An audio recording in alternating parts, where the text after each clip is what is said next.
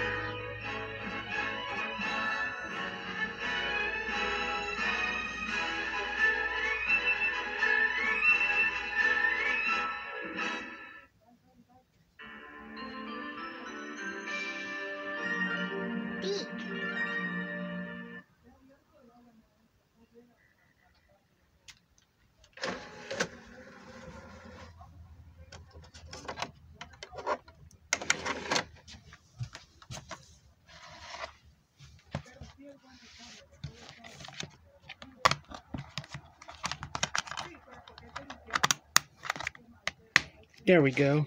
Perfect.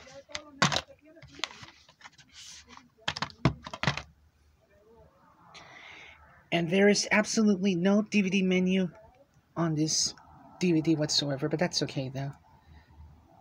This has been a 2004 V, I mean 2004 DVD of A Christmas Carol. Hope you guys enjoyed this video and see you later and have a happy holidays everybody.